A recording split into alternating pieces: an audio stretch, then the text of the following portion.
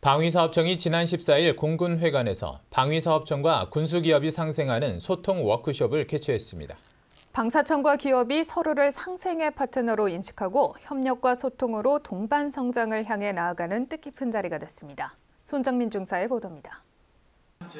이번 워크숍은 방위사업청과 군수기업이 원활히 소통할 때 건전한 계약 문화가 조성된다는 취지로 마련됐습니다. 이번 행사에선 국내외 군수기업과 정부 관계자 등 800여 명이 참석해 정부와 군수기업 간 수평적 파트너십을 바탕으로 상생 소통해 나갈 수 있는 긴밀한 협력 관계를 구축했습니다.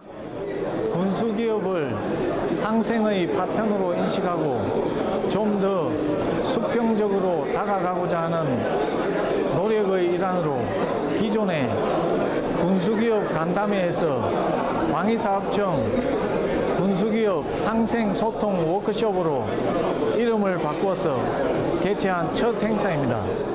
워크숍은 1부와 2부로 나눠 진행됐습니다.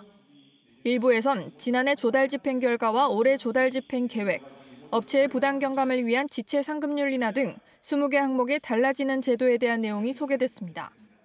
2부에선 업체 건의 사항을 수렴하는 등 맞춤형 토의가 이뤄졌습니다. 또한 이날 워크숍에서는 방위사업 발전에 기여하고 계약 이행 능력이 우수한 5개 기업에 대한 표창 수여식도 함께 진행됐습니다.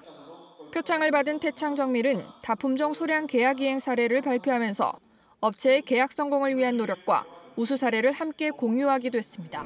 우수 사례 발표 등을 통한 간접적 멘토링으로 역할을 나눈다 만남과 공유, 화학과 상생하는 장이 되고 아울러 군납을 생각하는 중소기업의 활로를 열어주고 문턱을 낮게 해주는 기회로 삼아 또 모범이 되는 군수업체가 될 수 있도록 노력하겠습니다.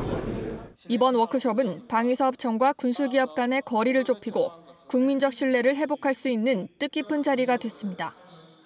국방뉴스 손정민입니다.